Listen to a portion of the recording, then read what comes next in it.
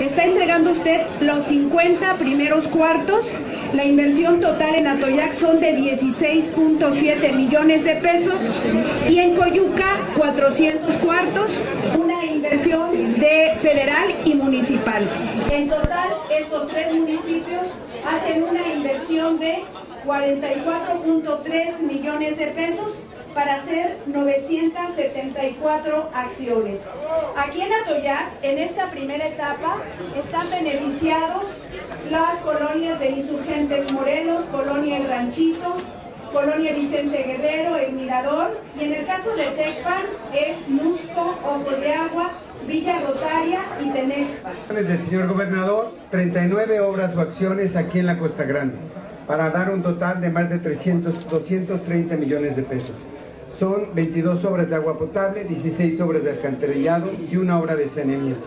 Es muy importante destacar aquí que el gobernador cuando fueron las pasadas lluvias del 2 y 3 de septiembre del año pasado, nos ordenó venir a apoyar a la población y a los municipios que así lo necesitaban.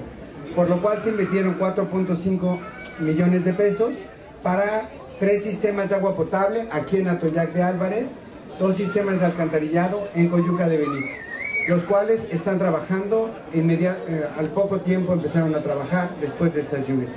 Aquí en Atoyac, señor gobernador, tenemos una inversión de 24 millones. 6.5 millones se dedican a desasolve y sistemas de drenaje, tanto en la cabecera como en Cacalutla. Y tenemos adicional un pozo de 17.7 millones de pesos con una capacidad de 1.200 lit eh, litros.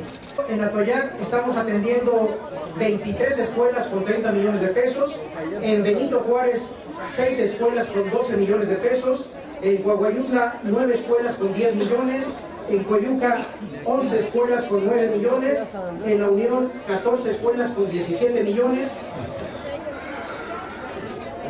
en Petatlán 12 escuelas con 71 millones de pesos. ¿Por qué? Porque eh, ahí tenemos alojada la, la, Universidad Tecnológica de la Costa Grande y en la Universidad Tecnológica de la Costa Grande estamos haciendo inversión del orden de los 35 millones de pesos. En Tecpan traemos 16 escuelas con 26 millones de pesos y en Ciguatanejo 30 escuelas con 47 millones de pesos. En total, gobernador, vuelvo a repetir, 226 millones con 119 escuelas aquí en la Costa Grande.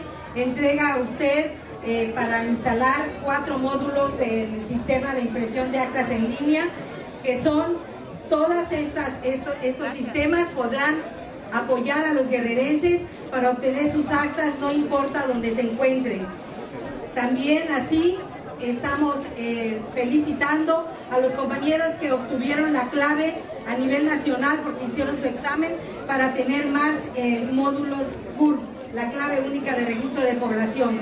De tal manera que también aquí se encuentran eh, compañeros de San Juan, de Las Flores, del Paraíso, de Tecpan, de Galeana y de Petatlán, que son 134 resoluciones que la señora Mercedes nos ha ayudado para que todos tengan sus documentos en orden.